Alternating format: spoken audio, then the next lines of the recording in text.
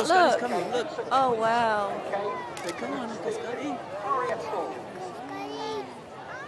Warrior Falcons. Okay, looking up, and they're out of the aircraft. Thank Oh, you God, very much. he's ladies slow.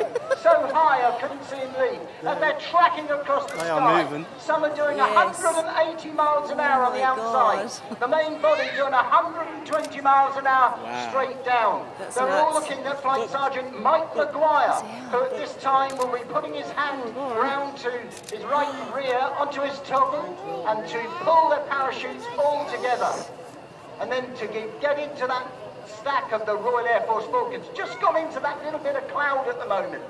You can imagine, Man, that's Rob, that's a little eh? bit difficult Yeah, because like they've just pulled their parachutes. They're in cloud. They've got to watch, of course, they don't make any violent movements to come out of the cloud and then to start stacking one on top of each other. So the Royal Air Force Falcons are the only parachute display team in the world to be able to do this manoeuvre of a loose stack. That's to get together, say, in that stack, but just stay just a few feet apart. be all right, They 'cause they'll carry red hot smokes on the bottom of their ankles. Okay, now they carry four in total. And if they was to touch the parachute below them, then I'm afraid he'd have to go and say cut away and go are not gonna be in the onto his reserve parachute. So they be in that don't want to get too close. Isn't that big Okay, we've got our two flags that are actually coming in, and these are being brought in by is up the Sergeant Dave Warboys from Sheringham in Norfolk and Sergeant Carl Harris from Middlesbrough. So the two two, flags three, above them, as you can see, the Falcons just getting into that famous stack. Now, starting at the, the bottom of the stack, In the blue. we've got Sergeant Mike McGuire with the white smoke, and he's leading the team down onto this drop zone.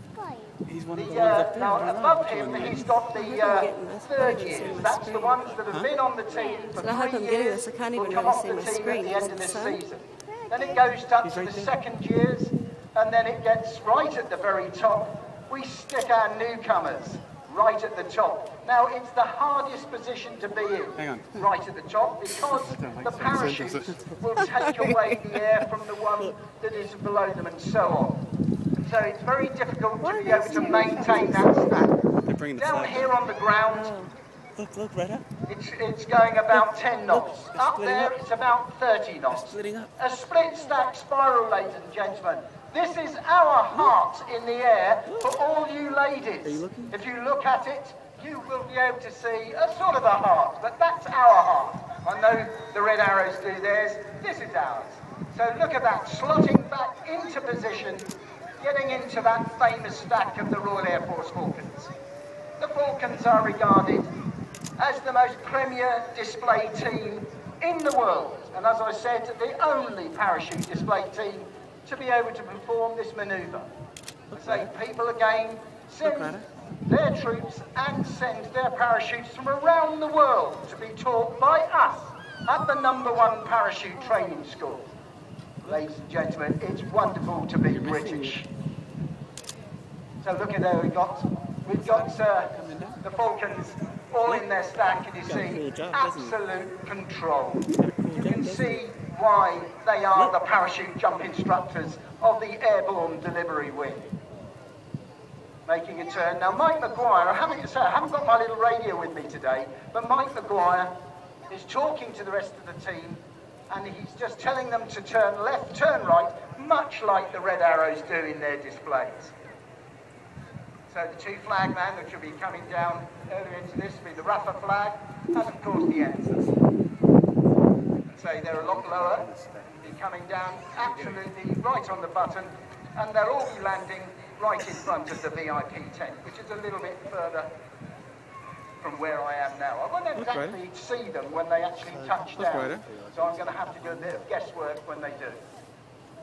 So ladies and gentlemen, we've got our two flag men. There he is. Oh, when I say men, honestly, ladies out there, you too can join the Falcons. Just join the physical education branch, go through exactly the same. We've had ladies in the past, but we need some ladies. So come on, ladies, if you want to join the Royal Air Force and become a Falcon and be doing this, get down there to your recruiting office and let's see more of you join the physical education branch. So who'd be kind of near the top?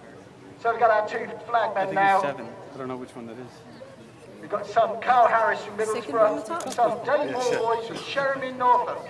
Okay, ladies and gentlemen, they can all hear you from now. Let's give them a rapturous applause. So I want everybody that can hear me to start giving them a magnificent welcome down here to this wonderful show.